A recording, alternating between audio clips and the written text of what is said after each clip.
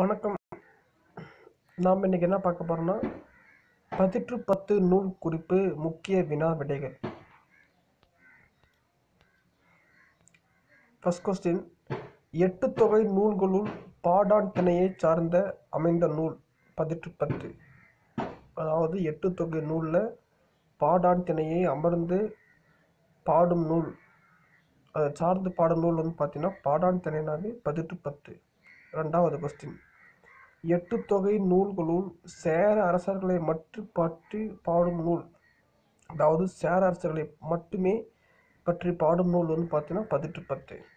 மூணாவது கொஸ்டின் எட்டு தொகை நூல்களுள் இசையோடு பாடப்பெற்ற தொகை நூல்.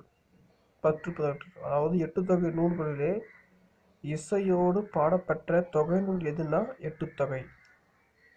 தொகை நூல் வந்து மொத்தம் எட்டு வகைப்படும்.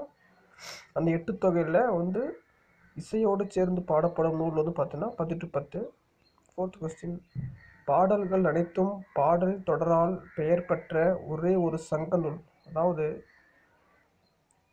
பாடல் அனைத்தும் வந்து பார்த்தீங்கன்னா பாடல் தொடரால் பெயர் பெற்ற ஒரே ஒரு சங்க நூல் பதிற்று பத்து. ஃபிஃப்த் கொஸ்டின் பதிற்று பத்து பிரித்துடுறதுக்கு அப்படின்னு பார்த்தீங்கன்னா ரெண்டா அதாவது ரெண்டு ஆப்ஷன் கொடுப்பாங்க. ஒன்று பத்து ப்ளஸ் பத்துன்னு பிரிக்கலாம். இன்னொன்று பத்து ப்ளஸ் இன் ப்ளஸ் இற்று ப்ளஸ் பத்து. இதுனா வந்து பதிற்று பத்து.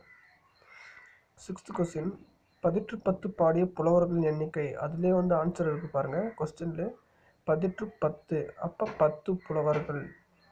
ஆன்சர் செவன்த் கொஸ்டின் பதிற்று பத்து அடி வரையறைனா எட்டு அடி சிற்றலையும் ஐம்பத்தி ஏழு அடி பேரலையும் கொண்டது. எட்டு அடி ஐம்பத்தி ஏழு அடி. பதிற்று பத்து.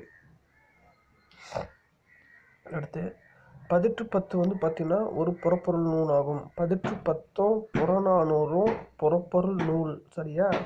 அதனால் பதிற்று பத்து ஒரு புறப்பொருள் நூல். இதெல்லாம் வந்து அகப்பொருள் நூல் பரிபாடல் வந்து பரிப்பாடல் மட்டும் என்ன ஆகும்னா அகமும் புறமும் சேர்ந்து பாடல் நூல் வந்து பரிப்பாடல்.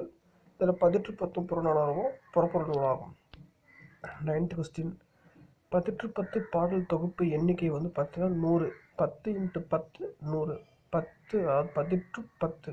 பத்து புலவர்களால் ஒவ்வொரு புலவராலும் பத்து பத்து பாட்டு பாட்டுனா அப்போ பத்து இன்ட்டு பத்து நூறு பாட்டு.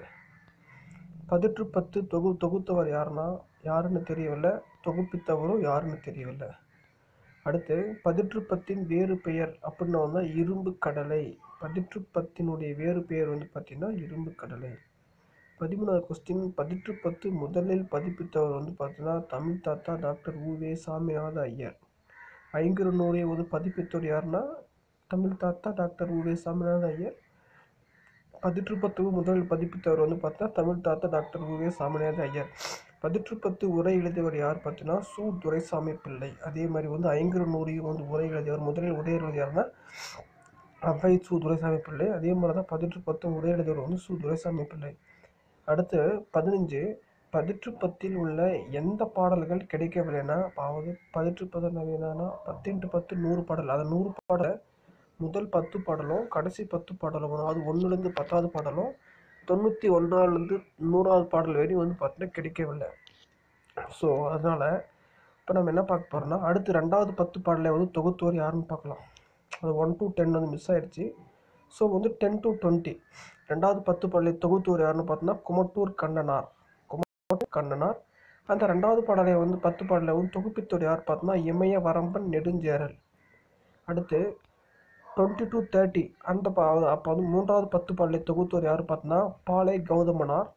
அதே மாதிரி மூன்றாவது பத்து பாடலை தொகுப்பித்தோர் யார் பார்த்தோன்னா பல்யானை செங்குட்ட செங்கலு குட்டவன். செங்கலு குட்டவன் வந்து பார்த்தோன்னா மூணாவது பத்து பாடலை தொகுப்பித்தவர். அதே மாதிரி வந்து நாலாவதுனா முப்பது டு நாற்பதாவது பத்து பாடலை தொகு தொகுத்தவர் யாருன்னா காப்பியற்று காப்பியனார். அதே மாதிரி அதை வந்து தொகுப்பித்தவர் யார் பார்த்தீங்கன்னா கலங்காய்கண்ணி நார்முடி சேரல் அடுத்து வந்து பார்த்தீங்கன்னா ஐம்பதாவது பத்து பாடலை தொகுத்தவர் யாருன்னா பரணன். அடுத்து வந்து அதே வந்து ஐம்பதாவது பத்து பாடலை தொகுப்பித்தவர் யாருன்னா வந்து செங்குட்டவன். அதே மாதிரி ஆறாவது பத்து பாடலை தொகுத்தவர் வந்து பார்த்தீங்கன்னா காக்கை பாடினார். ஆறாவது பத்து பாடலை தொகுப்பித்தவர் யாருன்னா வந்து ஆடு கோட்பாட்டும் ஆடு கோட்பாட்டும் சேரவதான். அடுத்து வந்து ஏழாவது பத்து பாடலை தொகுத்தவர் யார் பார்த்தோன்னா கபிலர். அதே மாதிரி ஏழாவது பத்து பாடலை தொகுப்பித்தவர் யார் பார்த்தோன்னா வந்து செல்வ கடுங்கோ வாலியாதன் அதே மாதிரி எட்டாவது பத்து பாடலை தொகுத்தோர் யார் பார்த்தோன்னா அரிசில் கிளார். எட்டாவது பத்து பாடலை தொகுப்பித்தோர் யார் பார்த்தோன்னா தகடூர் எரிந்த பெருஞ்சாரல் இருமுறை. அடுத்து ஒன்பதாவது பத்து பாடலை தொகுத்தவர் யாருன்னு பார்த்தோன்னா பெருங்குன்றூர் கிளார். அதே மாதிரி ஒன்பதாவது பத்து பாடலை தொகுப்பித்தவர் யார் பார்த்தீங்கன்னா இளஞ்சேரல் இருமுறை அதாவது ஒன்பதாவது பத்து பாடலை தொகுப்பித்தவர் இளஞ்சாரல் இருமுறை அதே மாதிரி முன்னாடி வந்து பார்த்தீங்கன்னா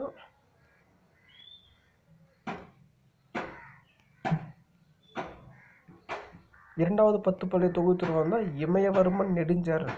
இந்த சேரல் இந்த இள இளம்புரை அதெல்லாம் வந்து கொஞ்சம் கன்ஃபியூஸ் ஆகும். கொஞ்சம் தெளிவாக பார்த்துக்குங்க. ஒன்பதாவது பத்து பள்ளி தொகுப்பித்தவர் வந்து இளஞ்சாரல் இரும்பொறை. அடுத்து கபிலர் பரணர் ஆகிய கடைச்சங்க கால புலவர்களால் பாடப்பட்ட அதாவது கபினர் பரணர் ஆகிய கடைச்சங்க புலவர்களால் பாடப்பட்டது. ஆதலால் பதிற்று பத்து வந்து கடைச்சங்க கால நூல் ஆகும். அப்போ பதிற்று பத்து வந்து பார்த்தோன்னா கடைச்சங்க கால நூல் வந்து கம்பல்சரி ஏன்னா கவின் கபிலர் மற்றும் பரணர் ஆகிய ரெண்டு பேர் யாருன்னு பார்த்தோன்னா வந்து கடைச்சங்க க- கால புலவர்கள் அப்போ கடைச்சங்க கால புலவர்கள் பாடப்பட்ட நூல் பதிற்று பத்து வந்து ஒரு கடைச்சங்க நூலாகும்.